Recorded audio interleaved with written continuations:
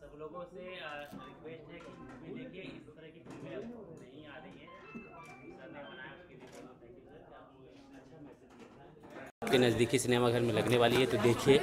और उस अच्छे काम को सराहिए। थैंक यू सो मच मैं इसमें टोटली फाइव स्टार देना चाहूँगा सिर्फ़ अनुपम जी के काम को लेकर।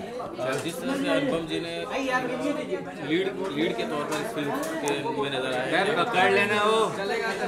हाँ, अनुपम जी का करेक्टर लीड था। और सबसे बड़ी अच्छी है कि जो कहानी जिन्होंने लिखी है सबसे बेस्ट चीज़ वो थी। कि उन्होंने आ, मतलब कि आज के टाइम में जहाँ पे लोग मतलब कोई भी फ़िल्म बनाते हैं उसमें देखिए पबजी गेम थ्रिलर मारपीट एक्शन सब कुछ होता है। लेकिन एक यहाँ पे इमोशन था और बहुत ही अच्छा इमोशन था जिन्होंने मतलब कि एक फैमिली से अपने लोगों से आसपास के लोगों से कैसे कनेक्टिविटी करना चाहिए उस उस चीज़ को लेकर अनुपम जी ने बढ़ावा दिया है।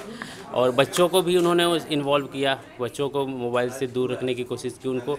जो बच्चों को साइलेंसली उन्होंने मैसेज दिया बाद में उस बच्चों ने उसे रियलाइज़ किया और खुद पे इम्प्रूव किया। बहुत ही अच्छा मैसेज था। मुझे तो बड़ी अच्छी लगी मूवी और मैं पूरा इन्जॉय किया उसको। बहुत अच्छा लगा। मैं लोगों तक मैसेज पहुँचाऊँगा कि अनुपम जी की इस फ़िल्म को लोग ज़्यादा से ज़्यादा थिएटर में जाके देखें। Thank you so much thank you thank you actually really liked the cinematography and Anupam Kher sir's acting.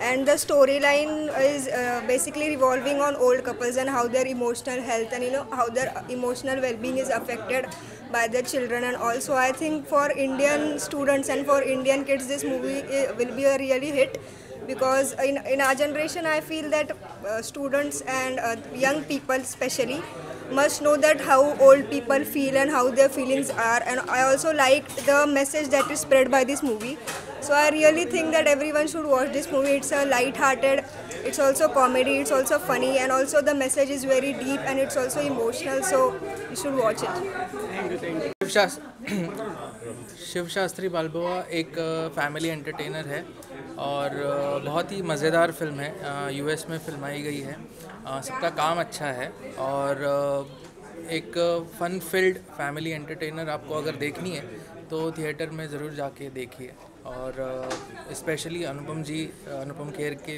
Performance के लिए, उनकी एनर्जी के लिए एंथुजियाज़म के लिए ये फ़िल्म ज़रूर देखनी चाहिए। और बाकी के कलाकार भी जो हैं फ़िल्म में शारिब है नीना जी है, नरगिस है और जुगल हंसराज भी काफ़ी दिनों बाद हिंदी फ़िल्म में नज़र आए हैं। तो उनका काम भी बहुत अच्छा है और एक पूरी फ़िल्म देखते समय आपके एक चेहरे पे एक स्माइल रहती है। तो सबसे बड़ी बात है। तो ज़रूर देखिए मैं ज़रूर रिकमेंड करूँगा। इस फ़िल्म का बेस्ट पार्ट क्या लगा? इस फ़िल्म का बेस्ट पार्ट तो कहा जाए तो एक फ़िल्म की जो फिलॉसफी है कि कभी हार नहीं माननी चाहिए। अगर आप गिरते भी है तो फिर से खड़ा होना है। तो जो रॉकी की फिलॉसफी उन्होंने इनहेरिट की है तो वही बात है और अनुपम जी जैसे कि मैंने कहा तो वो सबसे बड़ी खासियत है।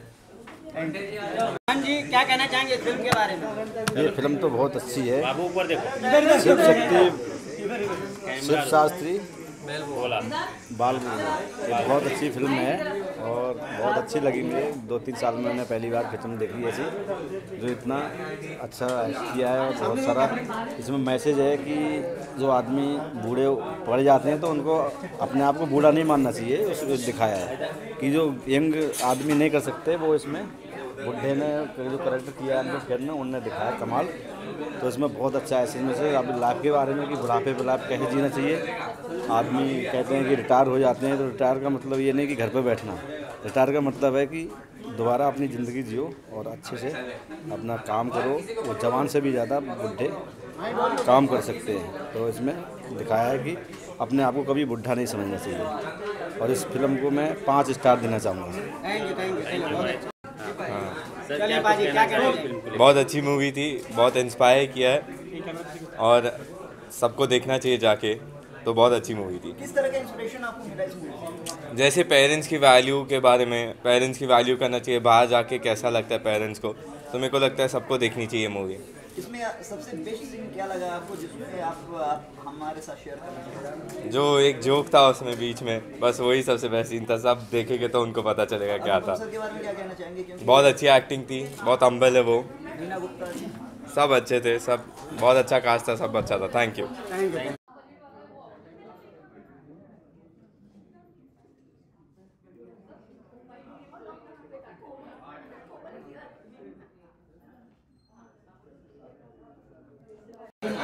चलो।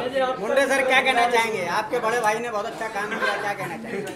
हाँ, अनुपम खेर जी की फ़िल्में तो बहुत अच्छी होती है काफ़ी सालों से मैं देखता हूँ।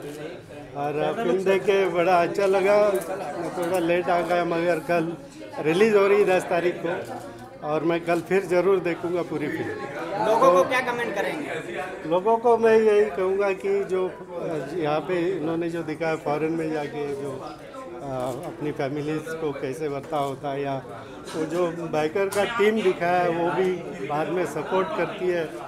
ये बड़ा अच्छा सीन था उसमें। फ़िल्म में कोई बिग पॉइंट है आपको? जो आपने फ़िल्म देखा तो कुछ इसमें बिग पॉइंट दिख रहा है आपको? नहीं मैंने ज़्यादा देखी नहीं अभी कहा मैंने कि पूरी फ़िल्म कल देखूँगा। मैं लास्ट लास्ट में मैं थोड़ा लेट आ गया। आधा घंटा ही देख पाया। कितने स्टार देना चाहेंगे इस फ़िल्म को? स्टार में अभी मैं क्या दे सकता हूँ मगर फिर भी three and half thank you हमने अभी फ़िल्म देखी है शिव शास्त्री बलबुआ और एक बहुत ही साफ़ सुथरी और बेहतरीन फ़िल्म है। आपको बहुत मज़ा आएगा।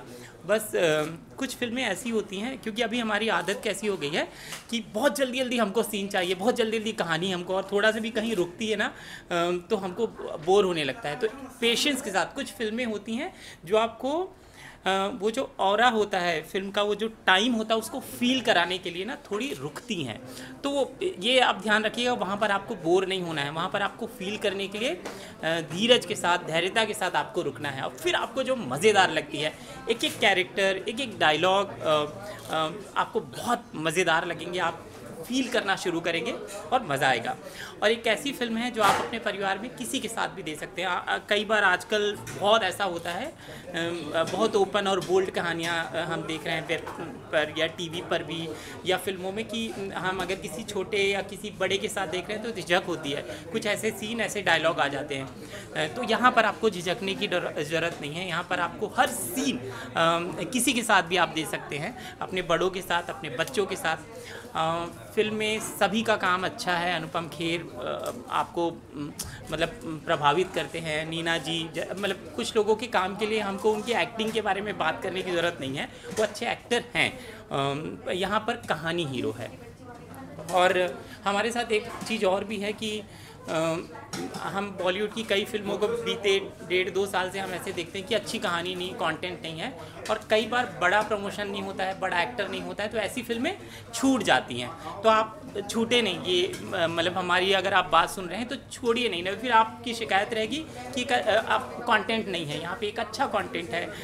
एक धर्रे की जो कहानी हीरो, हीरोइन विलेन वाली आ रही है, उससे हट के है एक बहुत खूबसूरत लोकेशन है खूबसूरत बात और कहानी है। तो और जुगल हंसराज के बारे में बात हुई, मैंने बताया। जुगल हंसराज आपको प्रभावित करते हैं। बहुत दिनों के बाद उनको देखा है तो मज़ेदार लगता है उनको भी देखना, और वो और भी काम करें, उनको और भी देखना अच्छा लगेगा। और अनुपम के बेटे का किरदार है उनका तो बिल्कुल फिट बैठते हैं। फ़िल्म को मैं साढ़े तीन स्टार देता हूँ और रिकमेंड करूँगा कि आप सभी लोग फ़िल्म ज़रूर देखें, क्योंकि एक सुंदर कहानी है अच्छा कॉन्टेंट है। Thank you